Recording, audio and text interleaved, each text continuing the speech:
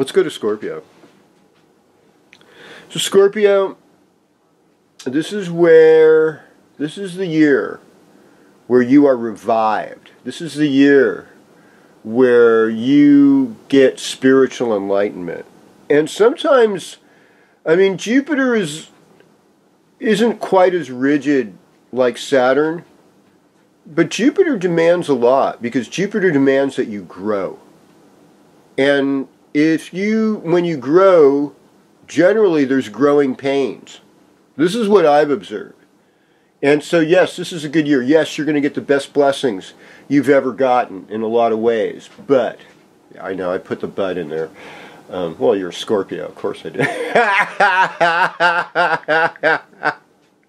um, you have to recognize your own ability to create good and harm. Now, Mars is in Scorpio, so this has been energizing you. And with Jupiter, it expands Mars's power, so you can get physically strong. You can get really. And, you know, Mars' purpose is generally to get rid of evil. It's Lord of the Earth.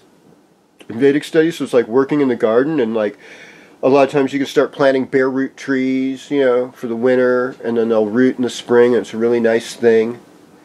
And um, Venus and Saturn and Sun transiting your third house. It's about your siblings. It's about old friends from college, high school, elementary school, and before, and um, and cousins and your community, your neighbors, and making connections with your environment.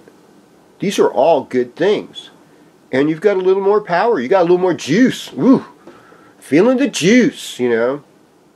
And I mean, you're going to love Christmas. I mean, Christmas is going to be in your fifth house. You're going to be generous. You're going to be fun. You're going to be creative. You're going to be all of it.